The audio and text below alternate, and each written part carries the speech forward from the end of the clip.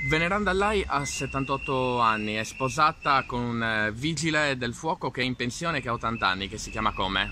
Remo Scalas. Siete entrambi residenti a Quartu. Quartu, Eh, sì. Lei nei fatti è disperata perché? Sono disperata perché eh, dovrei riportarlo a casa e a casa naturalmente non è gestibile. Che cos'ha suo marito? Spieghiamo. Ah, mio marito ha un Alzheimer molto grave con una maculopatia cerebrale, non deambula perché non cammina, non si spiega, non dice quello, deve essere assistito 24 ore su 24. Dove si trova lui? Lui si trova nella Gersia a Selargius ed è lì però oh, mi hanno telefonato l'assistente sociale che purtroppo il comune deve darsi da fare per potermi aiutare a pagare la retta che io non posso pagare. Quant'è la retta da dover pagare, la retta mensile? Non lo so quanto sia, comunque è molto alta. Molto alta che mio marito vive da una pensione con delle spese che abbiamo di medicine. Lei ha una pensione, signora? Io ho una pensione minima, minima perché eh, sto pagando questo mutuo di 632 euro. Della pensione non mi rimane niente, quindi così. Lei eh, è venuta a chiedere un aiuto al comune Io sono venuta a chiedere un aiuto eh, perché ho fatto alcune domande che non mi hanno dato nessuna risposta. L'unica cosa, l'ultima volta che io sono venuta, prima che chiudessero, mi hanno detto di fare questa domanda per un aiuto eh, di una retta da darmi per poter aiutare a- a- la struttura da pagare, eh, non ho avuto nessuna risposta.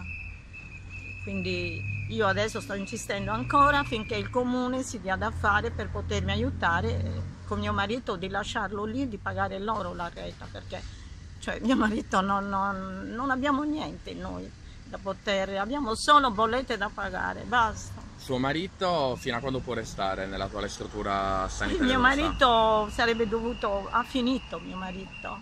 Infatti mia- ieri mi hanno telefonato l'assistente sociale proprio per avvertirmi di andare al comune per fare qualcosa con gli assistenti sociali, solo che gli assistenti sociali è chiuso.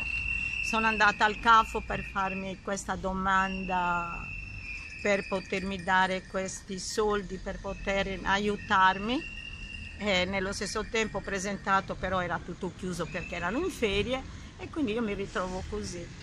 Io mio marito non lo posso riportare a casa perché?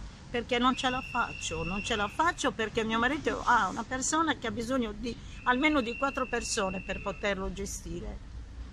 Chi ha persone ammalate così mi può Ricordiamo capire. che malattie ha suo marito. Mio marito ha un Alzheimer molto grave, aggressiva, una maculopatia cerebrale e tante altre, del tumore alla prostata, tante altre cose che non deambula perché ha avuto uno sfondamento dalla caviglia e quindi è quello che l'ha reso, diciamo, con questa malattia perché ha avuto un intervento molto lungo so altro cosa dire.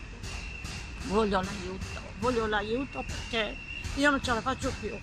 Sono costretta a portare mio marito qui e io mi butto dal bastione perché è l'unica risorsa, ve lo giuro. guardate. Ovviamente no, questi sono No, dei gesti estremi no, po- no. proviamo a lanciare un aiuto signora Eh, e un, un- un appello. Eh, lasciamo anche il suo contatto telefonico per i nostri lettori. Allora, il 338 2282 497